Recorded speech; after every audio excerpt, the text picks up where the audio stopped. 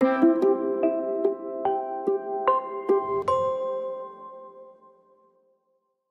guys, I'm Mahdi Khoui, I'm a digital sculptor, and in this video I'll show you how to use Nanomesh in ZBrush to quickly add repeating details, things like bolts, scale, or armor patterns. So let's start with a simple mesh. And I'm going to brush, and let me find it, armor nano and choose whatever you like. For example, this one is good enough. And at the beginning, I think it's going to be like this. Just hold down the space and go to polygroup all and drag. Something like this one. And then we can go to Nanomesh can change the scale, change the alignment.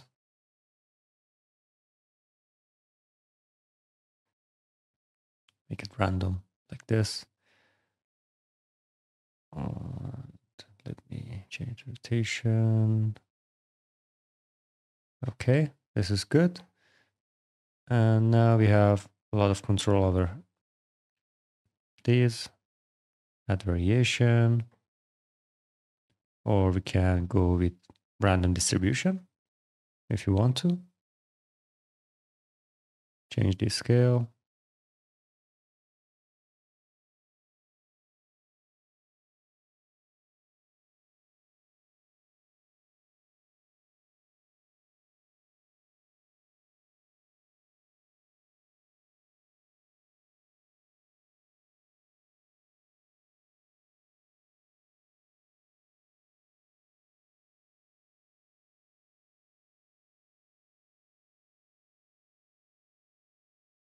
Yeah, we can go something like this. Or the cool thing is uh, we can easily edit the mesh.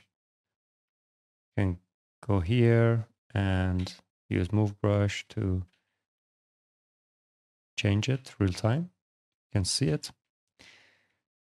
And maybe we can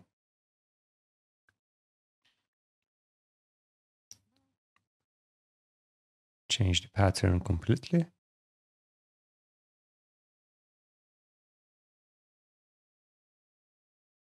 And you can even go, for example, let's use this one, make polymesh and whatever it is. Let me change it a little bit and bring it down. Do something like this. It doesn't really matter. I just want to show you you can easily make a brush, create insert mesh, new, and then create another brush. And let's get back to sphere, mm, duplicate, and let's hide this one and use this.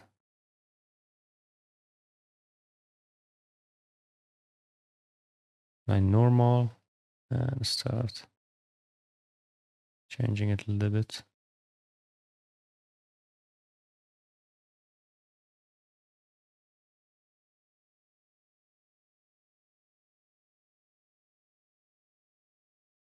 And create a scale like this if you want to. It's depend on what you're looking for and we can easily get back here and edit the model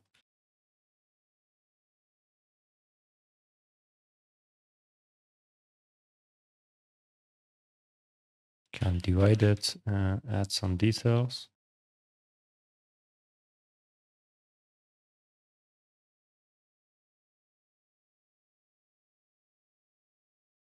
Yeah, since it's too heavy, can I ignore that?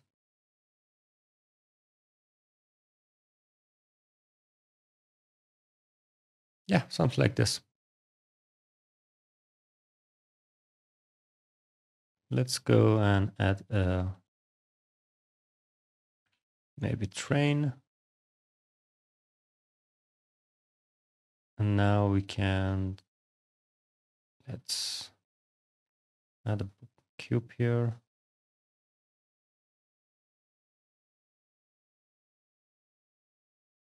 Initialize.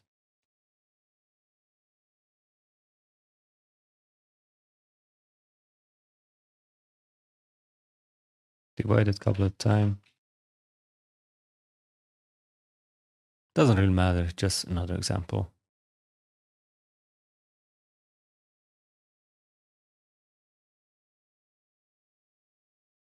Okay, this is good enough.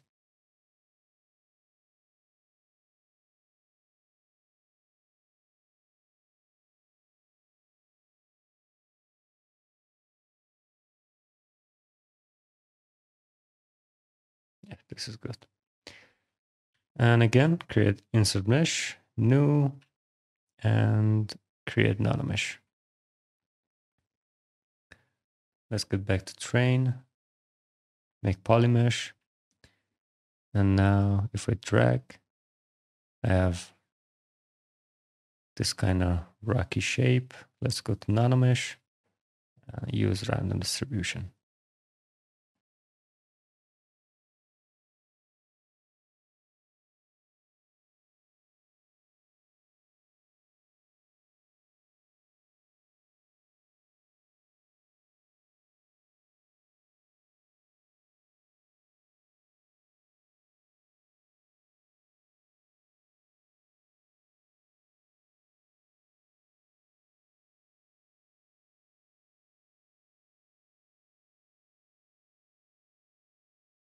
And as always, we can easily change the shape if we want to.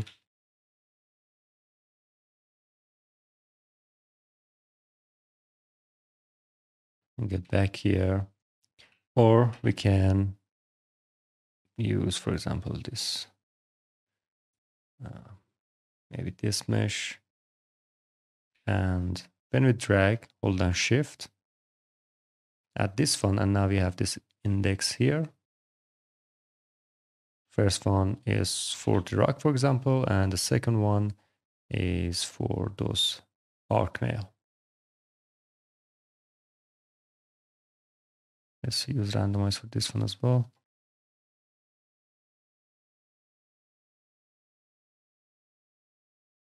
Edit mesh.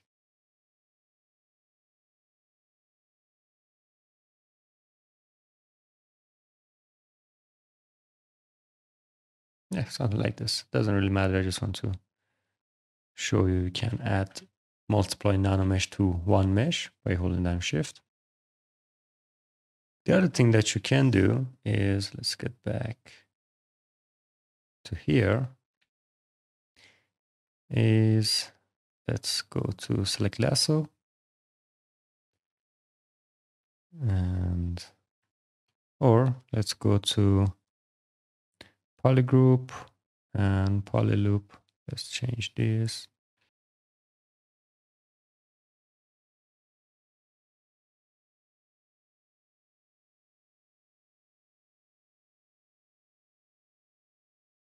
Delete this one. And there we go. Now we can use this nanomesh insert nanomesh and drag it here or this one maybe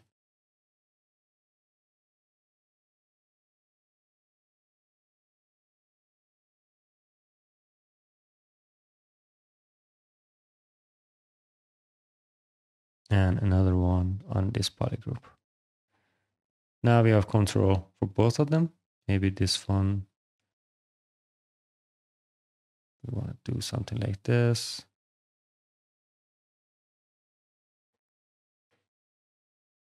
More randomize.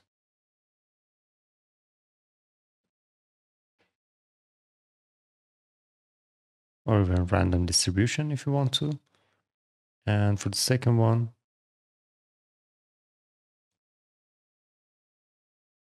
doing something like this.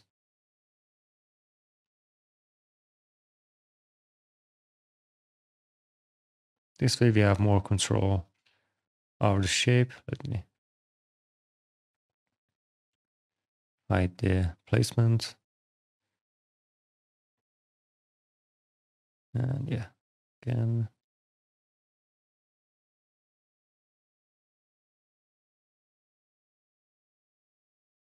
Now for the practical use, for example, I'm going to mask this area let me use paint.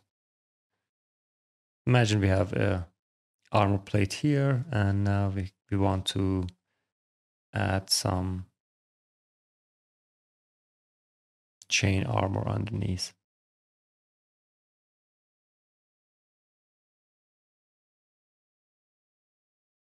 Extract, zero, accept. And let's inflate it a little bit to push it out of the body. And geometry, ZRemesher.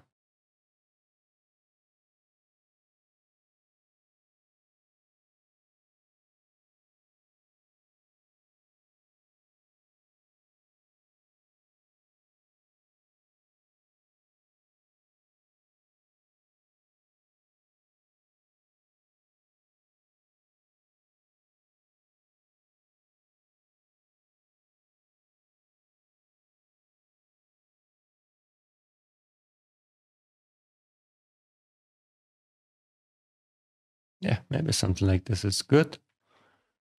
And let's go to Armor Nano, uh, Nano Mesh, and let's drag it here, or let's use this one maybe.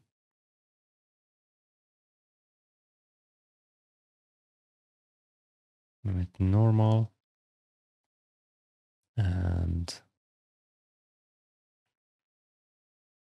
Let's hide that plane. Add more randomize.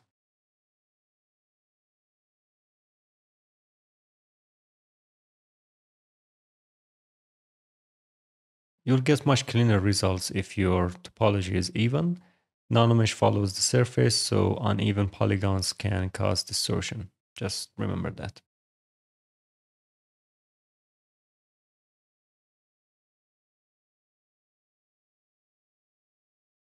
Or we can go to edit mesh and change it to this here.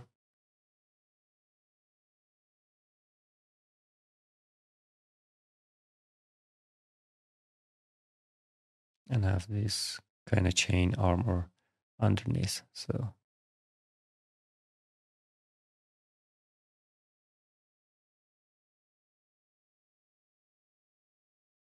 And after you're happy with the result,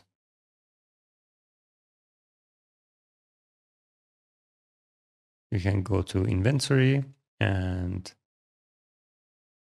want to mesh. Now I can easily select this one and split mask point and start working on it if you want to. Change the shape. Let me hide the placements. I have full control. Just remember once you convert the nanomesh to real geometry, you can't edit it anymore. So it's always good to keep a backup before doing that. So that's a quick overview of how I use Nanomesh in ZBrush. It's one of those tools that can save a ton of times once you get used to it. If you found this helpful, don't forget to like and subscribe. And check out our full courses on Udemy and Skillshare for more sculpting and hard surface workflows. And I see you next one.